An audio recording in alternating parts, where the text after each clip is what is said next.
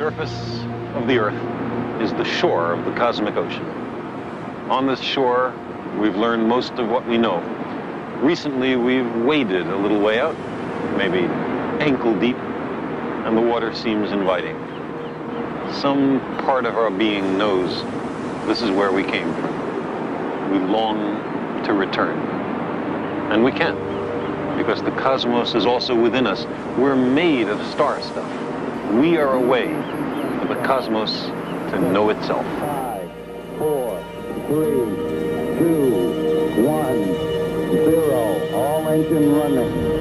Liftoff. We have a liftoff. 32 minutes past the hour. Liftoff on Apollo 11.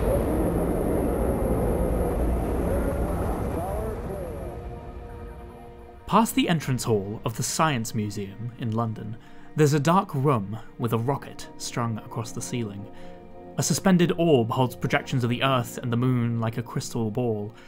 Models of shuttles and lunar landers are scattered about, some hanging like movie props, others delicate and small, trapped behind glass like dioramas. A bright yellow plaque asks, How far can we go? While clipped old accents emerge from speakers to try and impress you with what that question really means. To show you outer space without an open sky above. There's a wonder to places like that. It's not an original observation to say that centres of knowledge, like libraries and museums, are akin to secular temples, although some buildings try to evoke that far more than others. The Science Museum, despite its monolithic name, has no monopoly on the feelings that scientific advancements inspire. And there is, naively, falsely, a sense that scientific progress speaks for all of humanity, that when one institution or country makes a breakthrough, everyone else is brought along with it. The reality is always far less idealistic. But for at least 50 years now, there have been children who've grown up with seeing eight or nine planets in picture books strung together like beads on a necklace, who could look up at the night sky and think, that's where I could be. Even if, like me, they couldn't see the stars. Outer Wilds is a grand space adventure in every sense of that word, but it doesn't start with its home-built ship or its plucky team slash folk band of cosmonauts. It starts with a museum that lays out the whole game in miniature, along with a couple of other elegant in-universe tutorials. Gravity crystals, Nomai writing, and quantum rocks will be out there in the cosmos, so you might as well marvel at them in a safe environment. Outside, there's even a model ship you get to practice with, and probably crash a few times, before you get a chance to fly the real thing. Along with the entrance to a zero-G cave, where you'll practice repairing your ship as mineral-studded walls stand in for twinkling stars. You're inundated with these facsimiles of actual spacefaring, and they'll inevitably pale in the face of the lived experience you'll get in the rest of the game. Yet, this is the closest most people get to space, or the fruits of astronomy in general little placards next to dioramas of stars and satellites. Ironically, these tiny models failing to capture the scale of our universe makes them more wondrous. Just how much don't they show? How much do they miss? The museum, as much as it tries to explain the cosmos, is full of unanswered questions. No one knows where the Nomai came from, or why they vanished, and the jury's out as to why the quantum rock moves around. Especially, no one knows that they're exploring the universe right as it's about to end. When all is said and done, one of the last things the game has to show you is the same museum, and it does have the answers to all those questions. But only then, at the end of everything. As much as Outer Wilds is a game about answers, it's also a game about questions. Asking them, testing them, finding where they lead, figuring out just what's possible in this world. Curiosity is the driving force of the game because the game never forces you to do anything. It simply leaves its solar system open for exploration and investigation. More than any other adventure game I've played, albeit that moniker is a very loose one, Outer Wilds rewards a scientific approach, developing a hypothesis, testing it, and literally taking the results on board. The only barrier to progress is knowledge, and that progress just yields more knowledge, more and more, until you've wrapped your head around the entirety of the game and its non-linear story. Gradually, wonder turns into understanding. And then, right at the game's end, it turns back into wonder one last time. Which is why I'll say it now. Unlike other games that I might talk about, the main gameplay of Outer Wilds is this question asking, this pursuit of answers. By discussing it in full, I'm taking that away from the unfamiliar listener, should you in fact be listening. I'm normally not too concerned with spoilers in a critique of something, because you should talk about the whole thing when you examine it. But I realise, with Outer Wilds, that a game isn't just what you're left with after the credits roll. It's not just the answers you get, it's the questions you ask, the actual process of figuring things out. I really don't want to phrase this as it's about the journey, not the destination, but for Outer Wilds that feels about right. So if you can, try to take that journey, or at least watch someone else do it. Because, despite all this talk of science and learning and knowledge, Outer Wilds is at points a very spiritual game. Much of the writing on it mentions some kind of peace the author made with death through play, and I will return to that later. But that reaction makes sense, the whole thing's about death, really. Your death, your dozens of deaths, and the death of the whole universe. That's as final as it gets. And yet it still sees outer space with the same wonder filled eyes as kids in that astronaut phase. It's a game that tells you your save file is an expedition you're embarking on, to buckle up, not to buckle in. So I want to talk about that. About the science of the game and its faith, its fundamental hope that we can understand the universe and our place in it. In its own quiet way, it reminds you that the universe isn't something to be won or solved or conquered, just appreciated while you're there to observe it. You might as well. You'll only be around for another 22 minutes.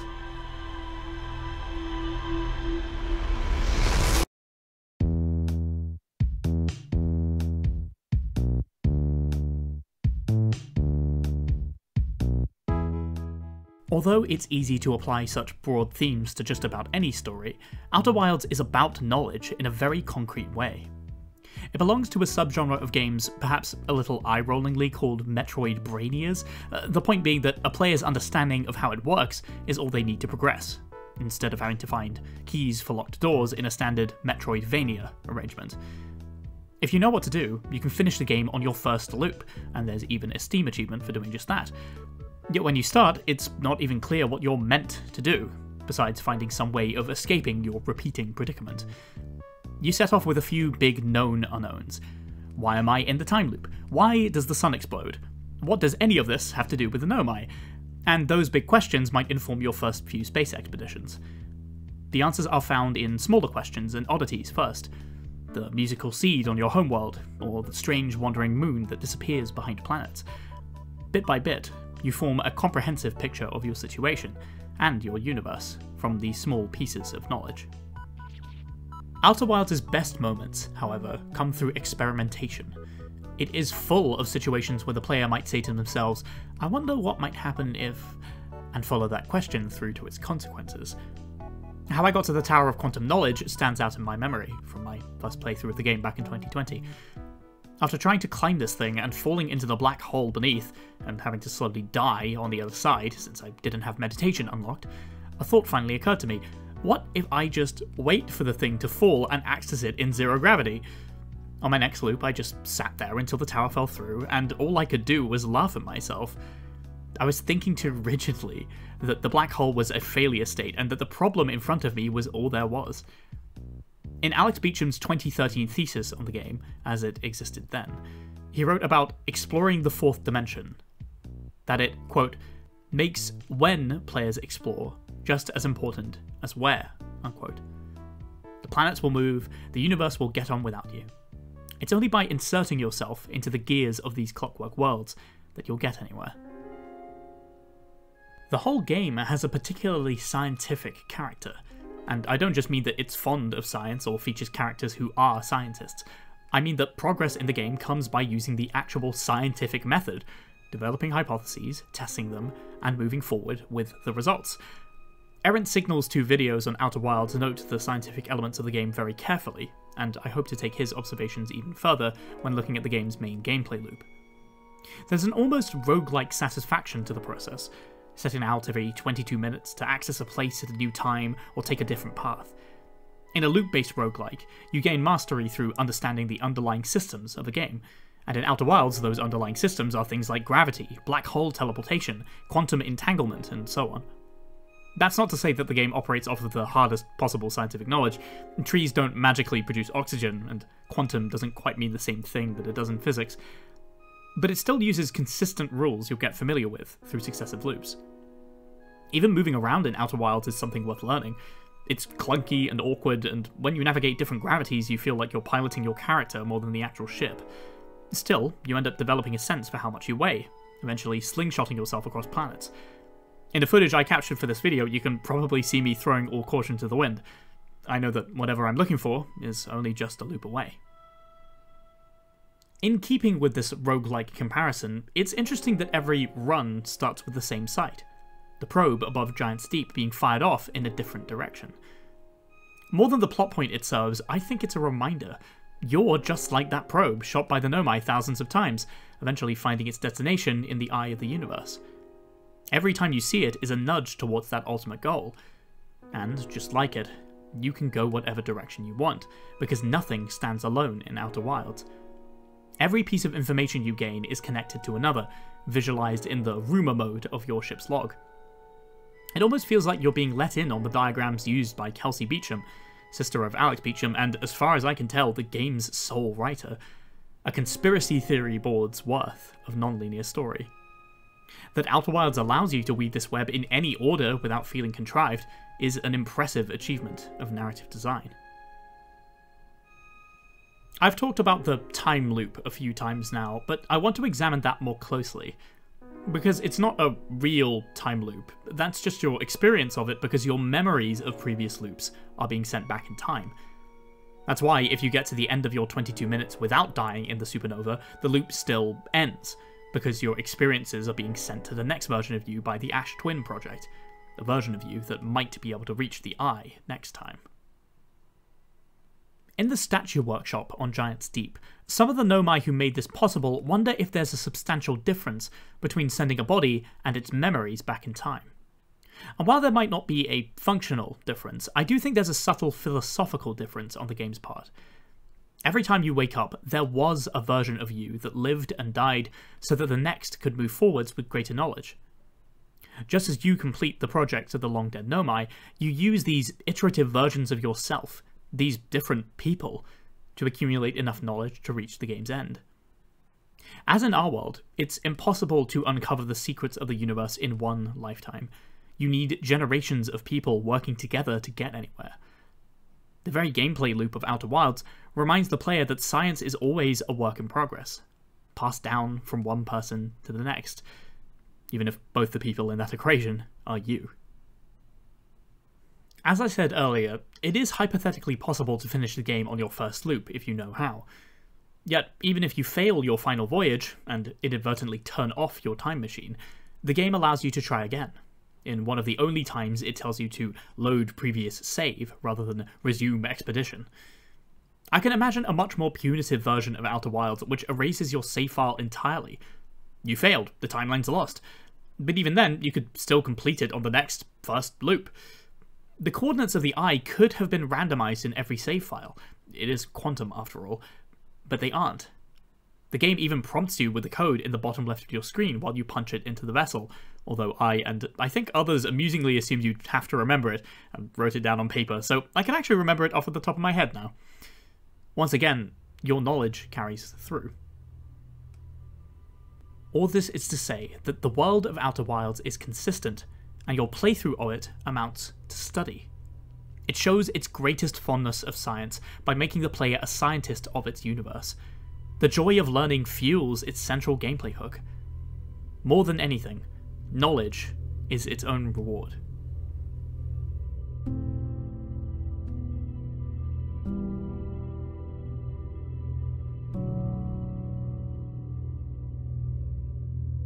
Yet all that knowledge comes at a cost. The game is, as many have noted, heavily preoccupied with death. It's inevitable, after all. Outer Wilds is as much about death and how people deal with it as it is about its time traveling premise the death of people, civilizations, the whole universe. It begins by mentioning, quite insistently, the possibility of fatal failure in space travel, that many ships have broken down, and that the first flight by Feldspar could only be called that generously. Even one of the dialogue options you can choose with Astronomer Hornfels is, I'm ready to die in space, an attitude that, ironically, will carry you far in Outer Wilds. For the Apollo 11 mission, the White House had prepared a letter to be read in the event of the deaths of Neil Armstrong and Buzz Aldrin, part of which reads These two men are laying down their lives in mankind's most noble goal, the search for truth and understanding. And it goes on to say, quote, In ancient days, men looked at the stars and saw their heroes in the constellations. In modern times, we do much the same, but our heroes are epic men of flesh and blood. Unquote. Men of flesh and blood, unfortunately, are much harder to keep alive in space, no matter how epic they may seem. While your death in a supernova is a constant, there are a lot of ways to die in Outer Wilds. You could fall from a great height, get crushed, burned, asphyxiated, even eaten. Many players ignore where their autopilot is taking them and fly straight into the sun. As beautiful as the game's world is, it's also an uncaring world. It moves on with or without you until the sun explodes and the loop resets. The worst deaths in Outer Wilds, however, are the slow ones. You might leave your ship to do repairs and watch it float away, and all you can do is wait for the six real life minutes it takes for your oxygen to run out. I remember this being quite disquieting when it happened in an early loop of my first playthrough, just having to sit there with nothing to quiet your thoughts but the increasingly shallow breaths of your avatar. There was no way for me to skip to being dead, so I had to sit there, just dying. As a somewhat avid roguelike player, I immediately wondered if this game had a reset run button. And it does, just not one you can use straight away. Fellow cosmonaut and time loop enjoyer Gabbro can teach you to meditate when things seem completely hopeless. While having this from the start of the game would certainly be convenient, I did make a beeline for it in the playthrough I did for this footage, I actually think holding off on this is beneficial for the player experience. Without a reset button, you treat your early loops with care. You naturally avoid death and hold onto your life preciously. Trips to Brittle Hollow, for instance, have real stakes because falling into the black hole won't kill you. You'll have to live out the remainder of the loop either drifting through space or slowly making your way back via the White Hole station. And that's not much better than dying. Eventually, death will stop being scary in Outer Wilds because it is an inevitability, and you come to accept that. Yet, coming to terms with death isn't easy. It takes time and effort, and in the protagonist's case, someone to show you how. I've wondered if there's a slightly sinister element to that. As you go on, your life becomes more expendable, just an instrument in achieving your goal. In his video Time Loop Nihilism, Jacob Geller describes the tendency for time loop stories to brush aside the awful actions of protagonists in timelines that quote unquote never happened. The end of the loop justifies the means taken to get there, it seems. In Outer Wilds, that nihilism seems to be applied to yourself. I know that if I fall off a cliff or miss an opportunity, I'll just sigh and meditate my way into the next loop. Is the peace you achieve with death simply apathy? I'm not so sure. Despite the game having an inflexible time limit, it sure gives you a lot of time to wait, especially if you haven't unlocked meditation. Even sleeping at campfires to pass time wasn't in the original launch of the game. Yet none of that waiting time is really wasted. It's a chance to ruminate on what you've learned. It's not dead air. The game could have, for example, placed your wake up spot at a higher elevation, making it effortless to get into your ship if you had the launch codes, but instead you have to ascend the lift before takeoff every single loop. It's only a few seconds long, but it forces you to stop and ask yourself, what am I going to do with my time? It's ironic that the game forces you to spend that time doing nothing, to make you realize how valuable it is. What's death in the face of a life well lived, after all? In my mind, the most obvious comparison with how Outer Wilds approaches death is The Legend of Zelda Majora's Mask. It's macabre for an adventure game, its time loop ending disaster has a similarly cosmic source, and many of its characters struggle in the face of impending doom. Outer Wilds even has a Lost Wood section, where you navigate a mysterious forest by following music, although that's from Ocarina of Time, of course. Unlike Majora's Mask, however, your job isn't to save the world because you can't avoid it ending, as you might initially assume. All you can do is ensure another universe follows after. The eponymous mask is the source of the moon crashing into Termina, and defeating it lets time finally move forward. There's no evil force to fight in Outer Wilds. As in our universe, the greatest killers have no malevolence at all. Ghost matter is the game's stand in for the dangerous forces in our world that are invisible to the naked eye, radiation in particular. An intermittent inconvenience, the strange thing about ghost matter is that it's found everywhere. And if you delve inside the interloper, you'll find its source. The comet's shape evokes the anglerfish you'll find in Dark Bramble, and it turned out to be a similar lure. The Nomai were there as it cracked open, flooding the whole solar system and killing everything not submerged in water instantly. No warning, nothing to be done. One day there was a civilization, the next day there were bodies. Like a gamma ray burst, the interloper is something quite natural in the universe that's completely anathema to life. Something so simple and energetic when life needs so many things to go right to even exist. The interloper is also one of the only parts of the game whose knowledge relates to nothing else. You can even see that in the ship's rumor mode, as it has its little unlinked corner of nodes. It's a literal dead end, a grim memento that what ends lives, what ends us, may not be predictable or narratively satisfying. No matter what I've said about death in Outer Wilds, how it's ever present, how you face it, and how it forces you to use your time well, this type of death will always haunt us. Random, simple, unfair death, where you don't have enough time to make peace with anything at all.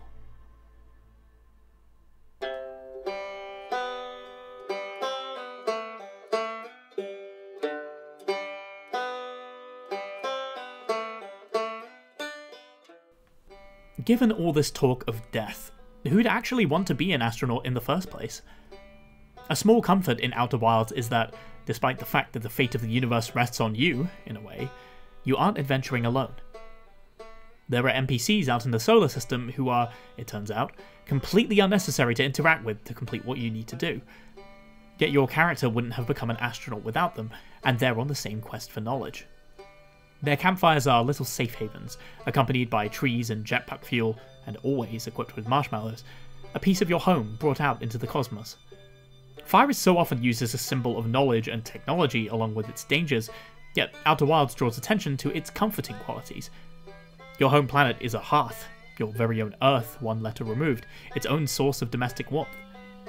Besides, you have to put in special effort to hurt yourself with the campfires.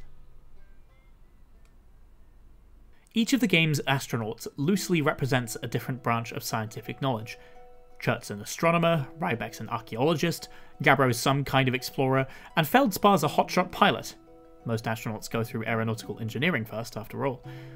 With each of these characters in their fields of study, you gain context for your journey, and versions of them play out the universe in one final song at the game's end. But I want to focus on Feldspar for a moment. The spaceship you fly in Outer Wilds is barely held together. It's made of wood, for God's sake, and it gets damaged very, very easily, at least with the way I play.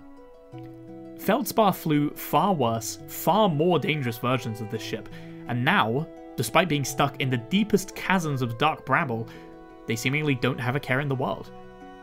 Is this the kind of brazenness that Outer Wilds sees in astronauts? Maybe it's not so much brazenness as emptiness. There's a quote commonly attributed to USSR cosmonaut Vitaly Sevastyanov, although I cannot for the life of me find a good source for it, where he's asked what he can see during one of the Soyuz missions. Quote, What do I see? I replied. Half a world to the left, half a world to the right. I can see it all. The Earth is so small. Unquote. There's a strangeness in Outer Wilds to how small the planets you're exploring actually are. Of course, they're representational. We must imagine the Nomai and the Hearthians as much larger than the parts of their homes we can explore in game. Yet these tiny worlds might have, inadvertently, captured something of the melancholy of spaceflight. Feldspar is defined by their almost irresponsible fearlessness, but when you meet them, they tell you that, quote, You're a little young to understand, but it's a lot of pressure, being the best that ever was. but nice to have a break. Unquote. Like Sevastyanov, their thoughts don't go to the cosmic. The concerns of astronauts can be small because our world is small.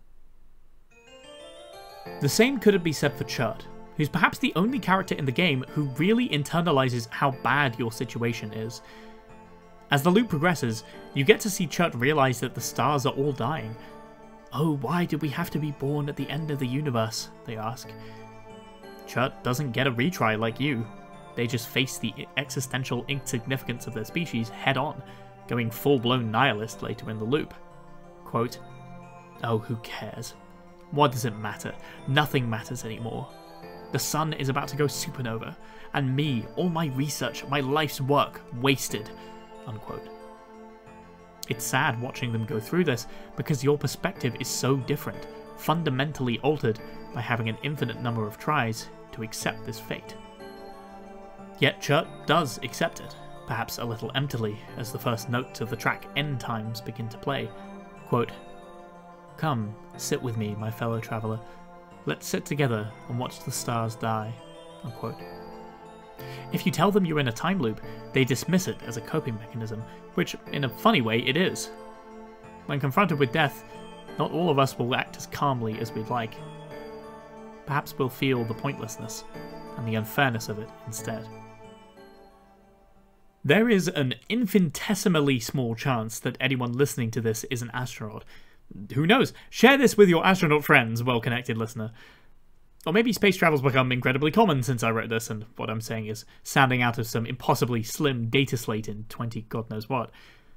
But in the here and now, there's still a perilous magic in spacefaring. We see, in Outer Wilds' as astronauts, examples of different reactions to the same universe. How people deal with a place so hostile to life, so uninterested in revealing itself to us. Furthermore, they show that science is a collective effort. Just as you wouldn't be in space without your fellow travelers, you wouldn't be able to accomplish anything there without the work of the Nomai. You'll find all the relics they left behind and put them together millennia after their creators died. The protagonist isn't special because of who they are, they just lie at the synthesis of all this knowledge, the meeting point behind which generations of people stand. I can't help but see in these characters a belief in some essential goodness of Hearthians and humanity. That while we were here, we tried to understand where we were, and tried to reach the eye of our universe, even if we didn't know that's what we were doing.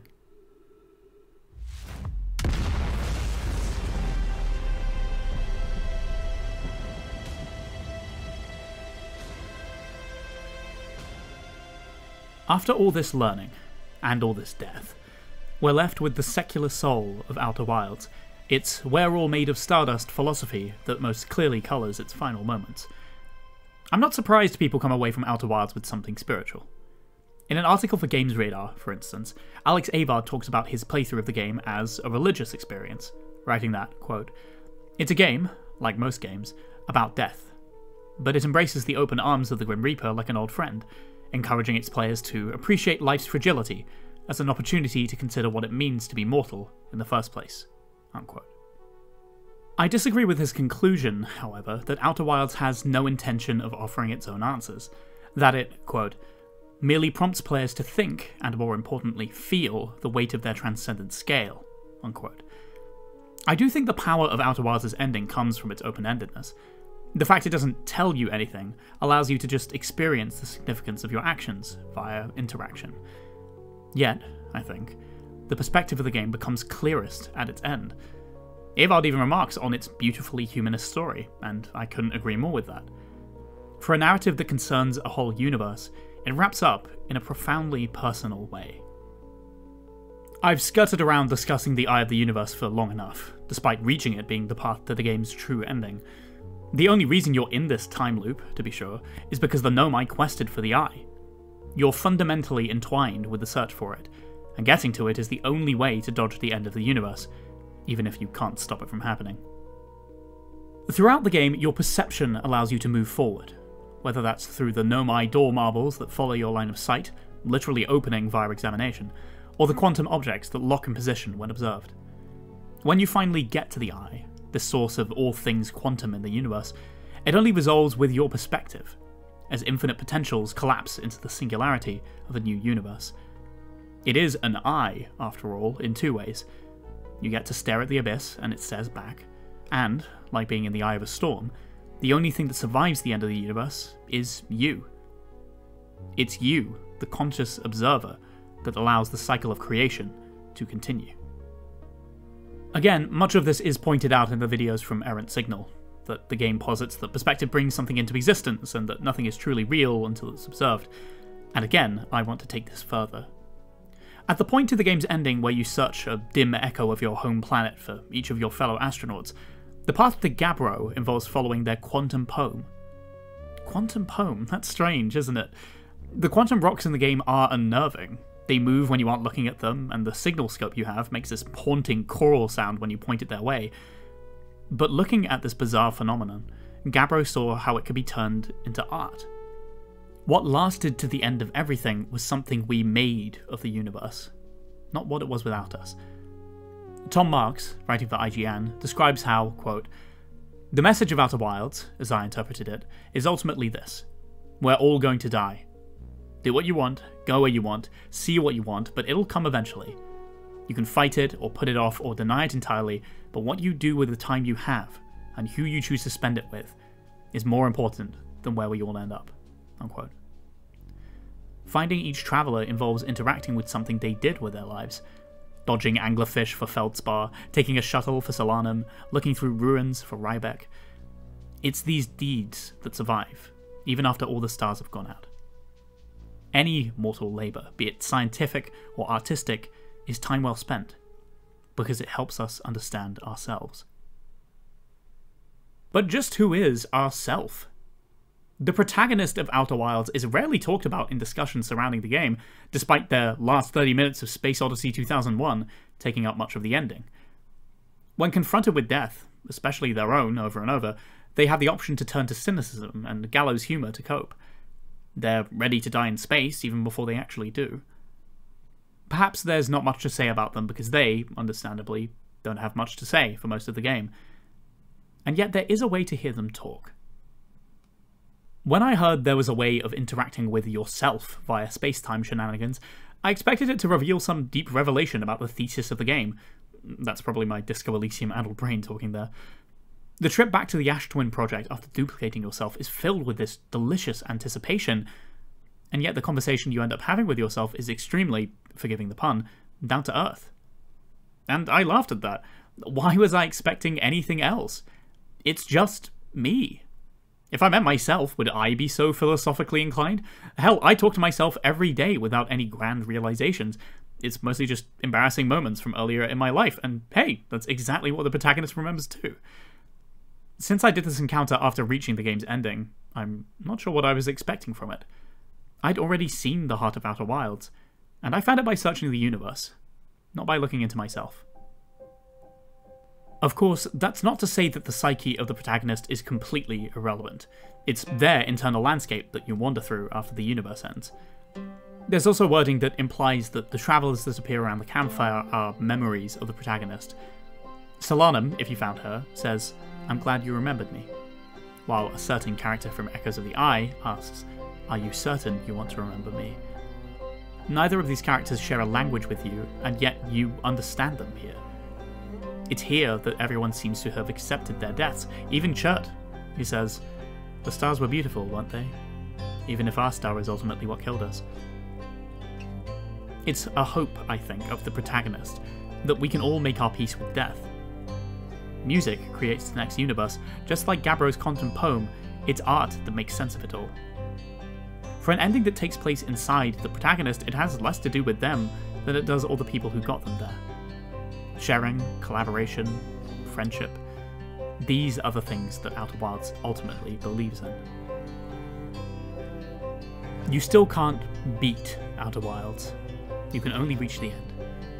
The birth of a new universe literally blows away your user interface, your health and fuel, location, eventually even the glass of your helmet. You get consumed by light one final time in one final supernova. The 30 second track that accompanies this is called Let There Be Light. As much a reference to the book of Genesis as it probably is to Isaac Asimov's short story, The Last Question. In the story, a supercomputer spends countless millennia trying to figure out how to reverse entropy, to stop the eventual death of the universe, only to figure out the answer once all light and life are gone. But it does succeed. Quote, the consciousness of AC encompassed all of what had once been a universe and brooded over what was now chaos. Step by step, it must be done. And AC said, Let there be light. And there was light. Unquote. The last question is a powerful story because it conceives of time and humanity on scales that we aren't used to comprehending, and it wonders if we might be more wrapped up in the mechanisms of the universe than we think. Outer Wild sees faith and science as just as intertwined as the last question. Just as we come from the universe, the universe might also, in a way, come from us. If you lose your scout probe in the eye of the universe, it ends up in the next world, 14.3 billion years later after the credits. That symbol of knowledge, of wanting to know what's out there, is the last thing that lives on before the game ends. In so many ways, Outer Wilds sees the pursuit of science as a humanist imperative, a way to both discover and rediscover parts of ourselves left out there in the cosmos. Knowledge gives us perspective, that we are all tiny living pieces of a much grander soul.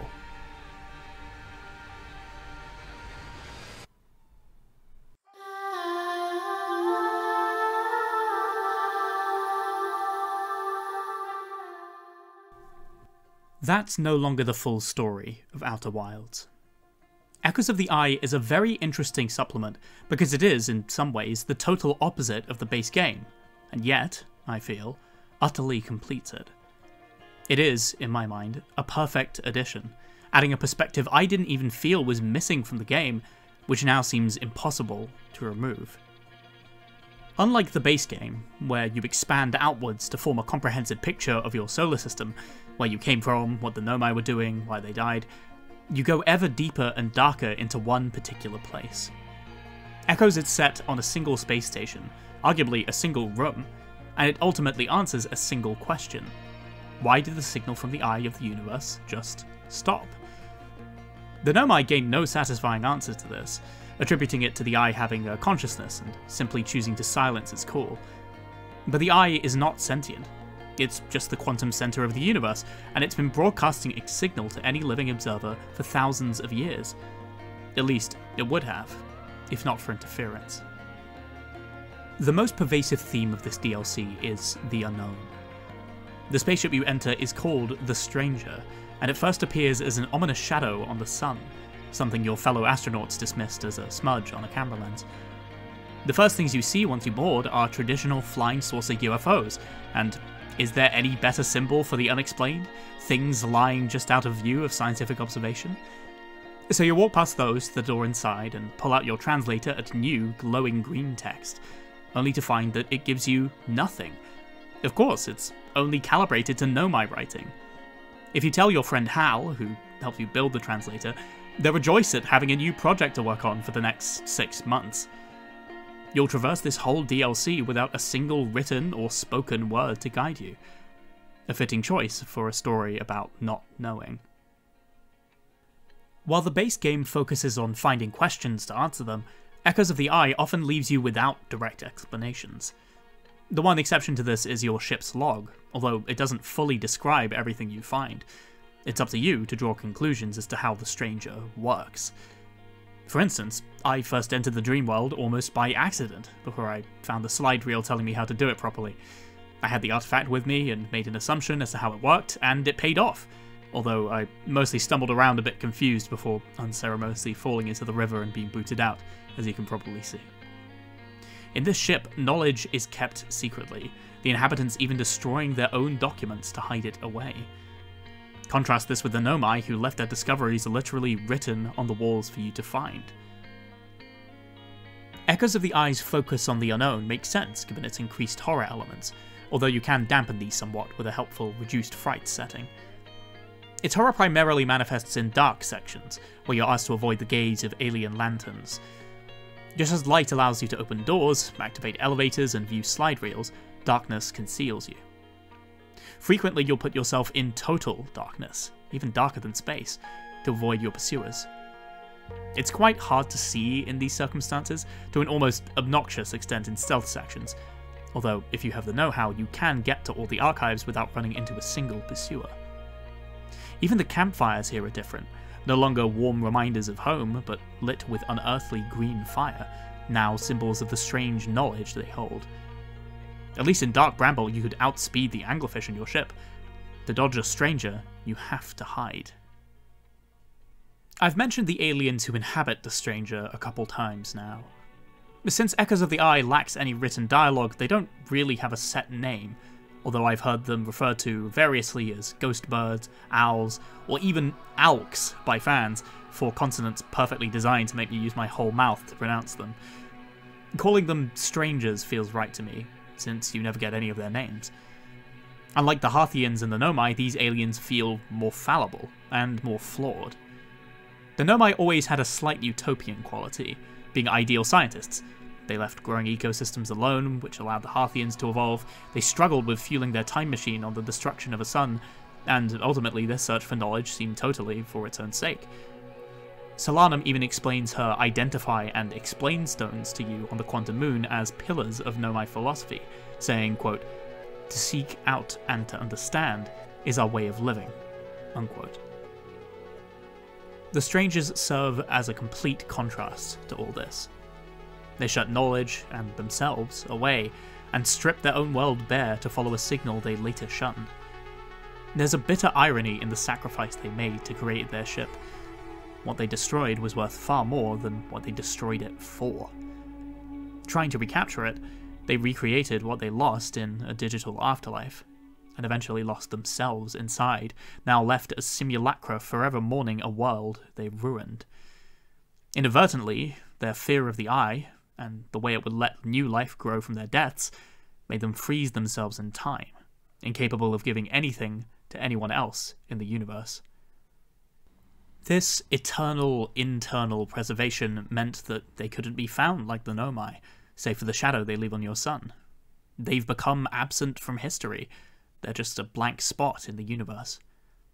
It's a disturbing story, only made darker if you trap yourself inside of their simulation, if only you could wake up, the ending slide reads. While Outer Wilds believes that knowledge is an unalloyed good, Echoes complicates that by showing how fear can contort knowledge into something destructive. And asks you whether you accept that, whether knowledge is worth having, even when it's uncomfortable or scary.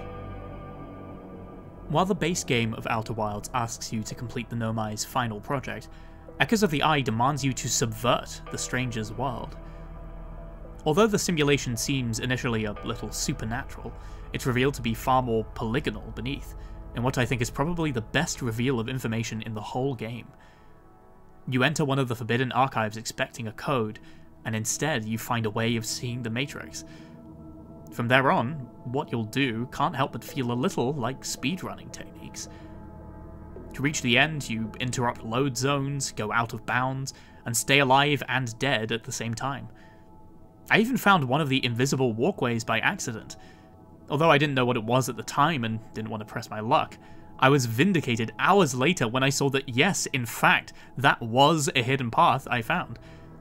The gameplay here resembles the leaps of knowledge required to beat the base game, but taken even further. You push the boundaries of this artificial world until they break. You progress by going past the simulation, not by obeying its rules, and getting the three codes you initially assume you'll need. That final trick, that the three locks you need to get past can be completely bypassed, is one of the most impressive to me, and yet it seems so obvious. Why would the strangers have left any trace of how to free their captive, after all? I felt quite smart at points while beating Outer Wilds, but I never felt as outsmarted as I did in Echoes of the Eye. I thought I knew this game, back to front, until it proved, one last time, that there will always be new questions to ask. The search for truth is worth it because no matter how confident we are in our knowledge, there is so, so much that we still don't know.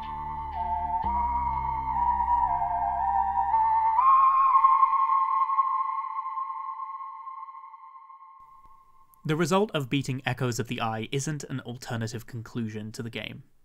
It's a conversation, in keeping with its theme of the unknown, for the majority of loops in the DLC, you'll never be 100% sure of what you're doing, just finding the next bit to understand. It's hard to not feel like you might be making a mistake as you unlock the prisoner's chamber, and the game toys with that expectation as their hand grasps a lantern from the darkness with a sting of alien synth. But, of course, they just gently walk into view. You join this person in the realm of the dead as they finish their story revealing themselves to be the reason why the eye signal was picked up in the first place. While the Nomai left behind for you might allow you to make a new universe, but this simple act feels just as powerful here. A tiny gesture of kindness that echoed forwards in time, far further than the prisoner could ever have known. The prisoner returned knowledge that the other strangers would rather have ignored that we will all one day die, and that the universe will continue without us. If you reach the game's true ending after completing the DLC, the prisoner is there, found in a grave only if you blow out candles representing the three species of life in this solar system. Even accepting the truth of that complete annihilation, the prisoner still warns you about fear. Quote, When my kind found the eye and realized what it was capable of, they were terrified. It was too difficult a truth. Like a light too bright to look upon directly, it burned them. What they could not unlearn was hidden away in darkness, obfuscated and lost. They did not want to see their story end. Unquote. There's a smallness to Echoes of the Eye's final moments that I like, because as you talk to the prisoner through images, you get to tell them that their story didn't end. You wouldn't be an astronaut if not for the Nomai, if not for the museum where you gazed at their ancient work, starry eyed, and those Nomai wouldn't have come here if not for the signal. You realise, at last, that you're another echo of the eye, finally returning to the prisoner to free them. While the ending of Outer Wilds has universal stakes and scale, despite its focus on the protagonist, the ending of Echoes feels even more powerfully personal. Even if the consequences of it don't continue into another timeline, just letting the prisoner know is enough to have an impact.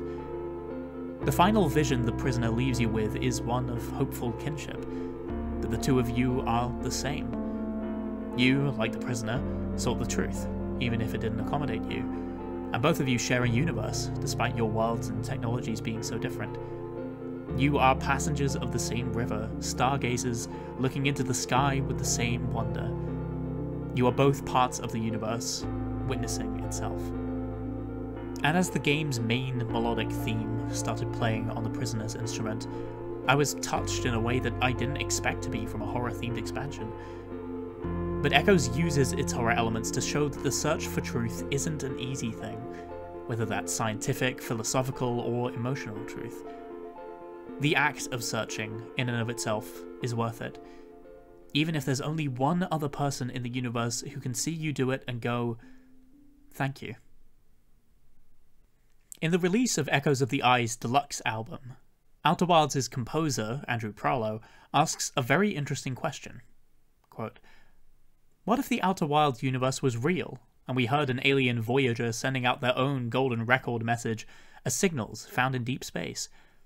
How would we translate them? And how could we connect with their melodies as a reflection of our own lives if we are already living them? Unquote. The real golden record was sent into space 45 years ago now, and will probably never be found by extraterrestrials. Yet it says a lot about us that we'd send it there, that we're concerned with how we'll be perceived by the cosmos. Hilariously, you can find some of it on NASA's SoundCloud, which exists, and I'll link that in the description. It seems to be more important that we remember what's on it a vision of humanity, of Earth, that we want to engrave into gold. It feels like a crime that, after all this virtual ink I've spilled, I haven't spent any time on the music of Outer Wilds, and maybe that's because it speaks for itself. I think the music actually stands out because it's absent for most of the game, unless you look for it with your signal scope. If you do, each astronaut plays a different instrumental part for the track Travelers, perhaps representative of their different perspectives which eventually come together at the ending. But you can hear them earlier than that if you align your signal scope just right, and there's even an achievement for that. We make the music of the spheres, not the heavens themselves. The banjo in the game's title theme was recorded across two points in time once at the beginning of development and once at the end, seven years later. That aspect of it fits so well because the whole game's a conversation with the past. The Nomai's past, to be sure, but also your past, using the sacrifice of your previous selves to move forwards. In Outer Wilds, music seems to represent knowledge itself. Each instrument around the ending campfire adds a different perspective to the universe and to the harmony, with Solanum and the prisoner enriching it only if you've shown the understanding needed to find them. The universe is made of these differing views, because each of us has a piece of it inside us, and that's one of the final, most powerful ways that Outer Wilds advocates for its collective humanism. It's a fallacy to think that science will save the world. But what it provides us, what it can provide us with, is perspective. The cosmonauts who first left Earth didn't get a second try, whether they came back or not. How many times have people died just to touch the beyond, to reach some eye of the universe? Not because our world isn't big enough, but because it's only when you're up so high that you can see the whole thing for what it is. Not just a pale blue dot, but a dot. So, so small and so very precious in its smallness. We, humanity, probably won't be like the denizens of Timber Hearth. We weren't born at the end of the universe, and we probably won't get to see it. More likely we'll be like the Nomai, disappearing in the flash of a gamma ray burst or choking on asteroid ash, or maybe, like the strangers, just burning the world ourselves. Yet Outer Wilds' faith in humanity is still obvious and profound. It hopes that, if we only have 22 minutes left, we use it well and seek the truth. Even if, as Echoes of the Eye notes, the truth wasn't made for us. We'll make our place in the universe anyway. It's taken about 13.7 billion years for any of us to exist. I don't know how many years we'll still be around for, but if we are a way for the cosmos to know itself, if we're each echoes of our universe, I hope we keep looking up. I hope we can share this campfire of a world, take up our instruments, and play. Together.